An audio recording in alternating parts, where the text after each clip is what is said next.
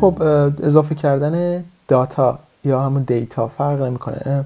من این صفحه رو خالی کردم بالا شروع می‌کنیم اضافه می‌کنیم به در اصل page در اصل page مون یا table page مون. چجوری اضافه می‌کنیم؟ می‌نویسیم insert into pages. چیا رو می‌خوایم داخل pages بنویسیم؟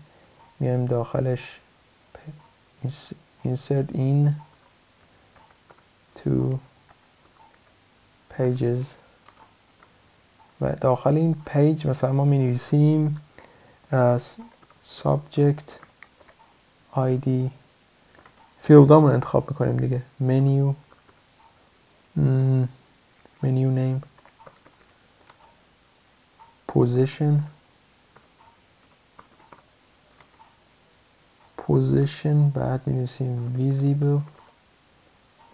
و بعد می نویسیم content. content هم در اصل اینجا بود. اینو میبندیم و میام پایین میگیم اینا رو بهش اضافه کن values. چه values values value های اضافه بکن.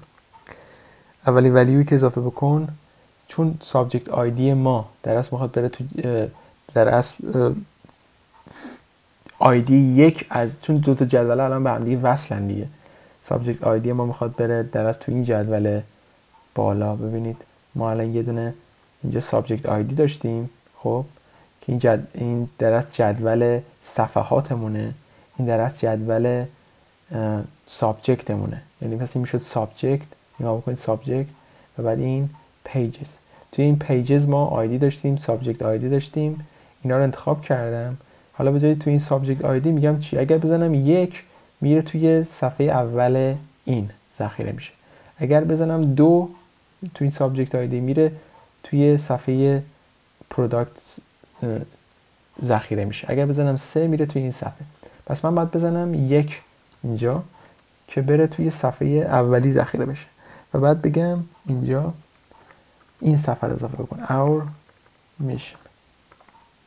یه ویرگول بذارم position ش چی باشه؟ چون صفحه اولی یک می‌ذارم visible باشه آره یک می‌ذارم. content ش هم باشه. Our mission always been سه نقطه. نمی‌ذارم و میبندم. خب؟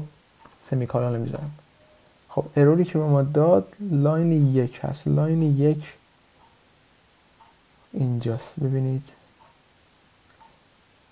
Insert into در اصل.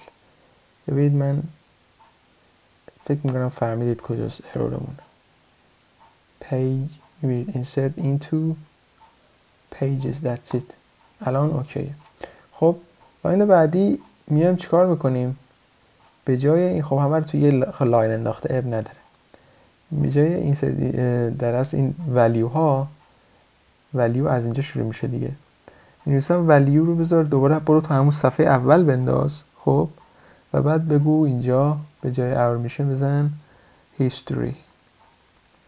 بنویس history. و بعد position ش چون یک نیست چون یه دونه صفحه اضافه کردیم دوه visible باشه آره. و بعد اینجا بنویس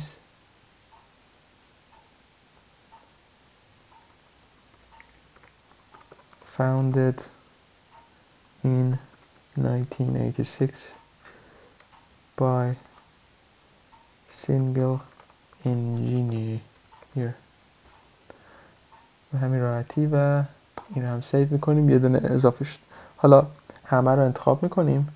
Select all from um, subject. خب این الان چی؟ یعنی در اصل ما این سه تا جدول رو اون چیزایی که ما اضافه کردیم همش رفته توی این ذخیره شده.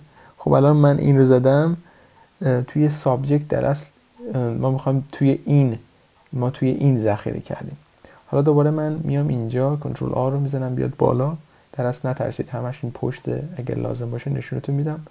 ما اسکیول رو که اینجا دوباره حالا می نویسیم این رو کام این رو می‌زنیم و بعد می نویسیم select into pages و بعد حالا می‌خوایم کجا بره؟ بره صفحه دوم. صفحه اول دو تا صفحه ساختیم صفحه دوم هم می‌خوایم بنویسیم. چی بنویسیم؟ بنویسیم مثلا large widgets چون ویجت کورپ دیگه بنویسیم.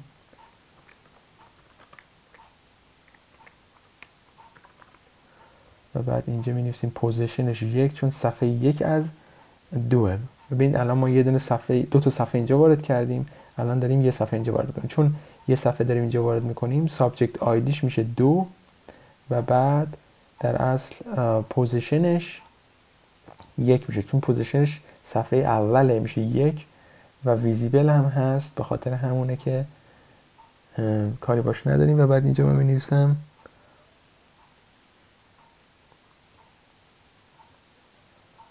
به جای این می نویسیم our our has have to be seen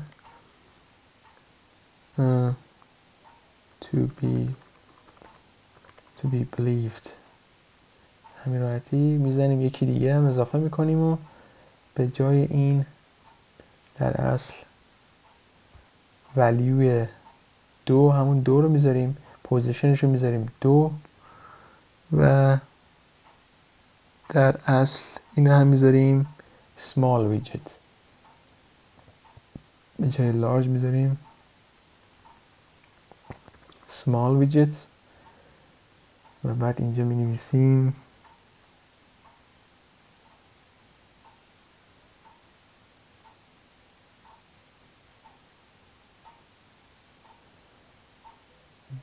می نویسیم چی؟ They say big یا آره دیگه big things come in packages. Packages. و خب اینم از اینو این رو هم اینتر می‌زنیم و یه دونه قرار میده حالا دو تا صفحه می‌خوایم به در اصل این اضافه کنیم یعنی سرویس اضافه کنیم. اینجا چی می‌نویسیم؟ همین رو می‌زنیم به جای این دو بالایی که نوشتم در اصل تو subject id مون دو گذاشتم. می‌زنم سه. خب و این سه مثلا می نویسیم به جای این small widget می نویسیم refactoring هر این اسمی که به صفحه می‌دید و این position ش که یک و این هم ویزیبلش و بعد ما اینجا می نویسیم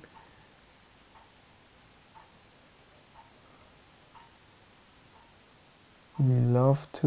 یه همچین چیزایی می نویسیم we love to replace widgets. این هم از این. یه دونه افکت شد و آخری رو هم توی این سه می‌ذاریم و بعد position ش رو می‌ذاریم دو. به جای refactoring هم می‌ذاریم. چی بنویسیم؟ شما بگید ما certification. و بعد اینجا داخل متن می نویسیم we can certify widgets.